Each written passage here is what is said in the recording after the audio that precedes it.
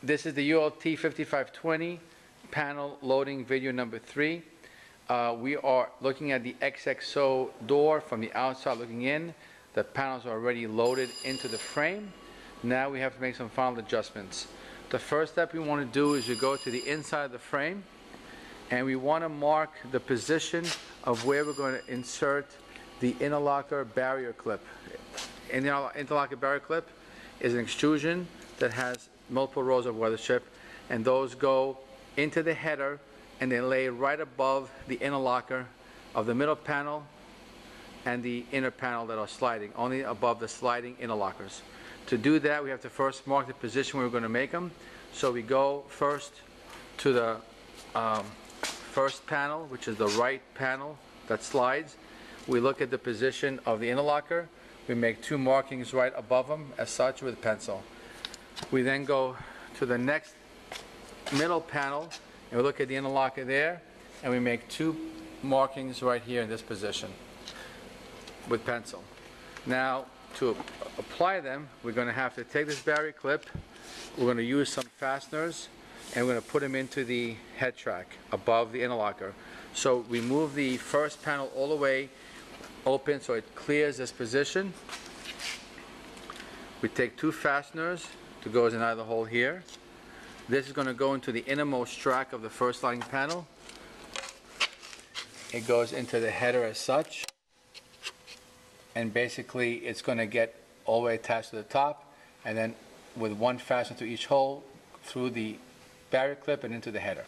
We're going to then do the same thing for the other unit and to do that we have to move the fixed panels out of the way. Remove the fixed panel out of the way and the middle sliding panel out of the way so the interlocker clears that position. We locate the barrier clip again so that the weatherstrip section lines up with here. This time we go to the middle track. We put it over on top and we apply two fasteners exactly where the holes are and that's what we do. Once those are attached and secured at the head opening, uh, we then are going to close the fixed panel, it back into position, line up all the panels. The next step is we're going to take the fixed panel stop, which is an extrusion, and it snaps into uh, the jamb cavity between the middle track and the fixed panel stall here. We just go from the top in, rotate it in as such, and lay it into place. Then we take a wedge glazing gasket, which has a, a lean to it, has a slant to it. The slant should be towards us. Make sure it's wet in a soapy water solution. And we simply wedge it in. We wedge it in.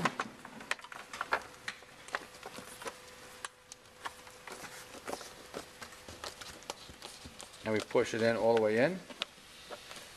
Okay, and then you take a rolling tool, uh, which we're not going to show you right now, and you just tighten it all the way up and down.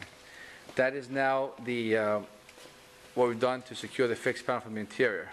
We now, what we want to do, we want to take a uh, fastener, and if you remember on the fixed panel, we had a, a clip here that was at the top of the interlocker, and that clip goes up and down. We want to take a few fasteners, and we want to secure the fasteners to the fixed interlock, interlock clip through the head and into the opening, okay? So we're gonna just make believe we did that with a fat with screw guns and fasteners, okay?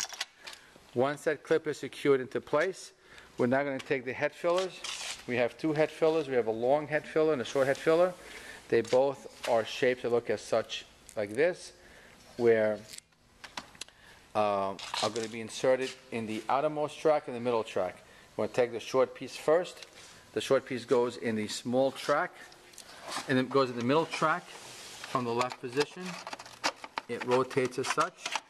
Oh, you got to make sure before you put it in that the the piece that has the neoprene pad and the little end dam goes against the uh, interlocker of the middle panel, because the other side, which goes against the jamb, is open, does not have any kind of end dams against it. And you have to make sure that it's oriented as such here, that this piece goes in this way. It rotates in this way, snaps into place, and make sure it's pushed all the way to the end here, so it butts up against the jamb on the left.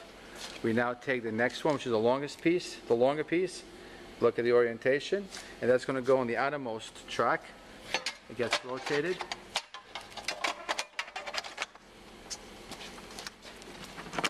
And snaps in place, okay? We now have both head fillers. We now can close the doors. And the next thing we want to do is we want to adjust the sliding panel so they operate properly.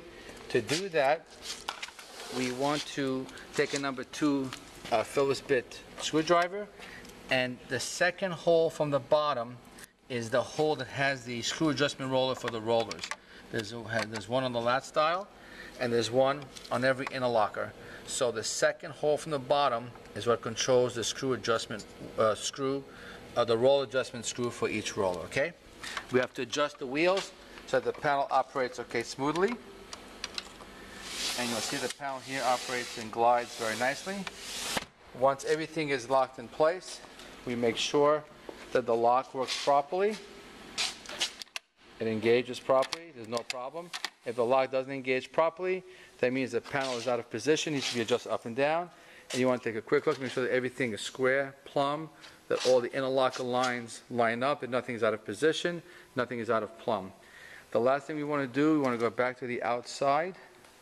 We want to take a caulk gun, and we want to apply structural sealant at the bottom of the fixed panel only along the lip of the sill where the fixed panel meets around to the fixed interlocker. And we want to apply structural sealant at the head filler where the fixed panel is here, around. And this, and these two head fillers against the jambs there and up like that, so that there's no water infiltration gets in. When this is done, the panels are properly loaded, everything is operating properly, and the doors already be used. And that's pretty much the loading sequence of the panels for the 5520 XXO configuration. If you have an OXX, it's the same thing in reverse.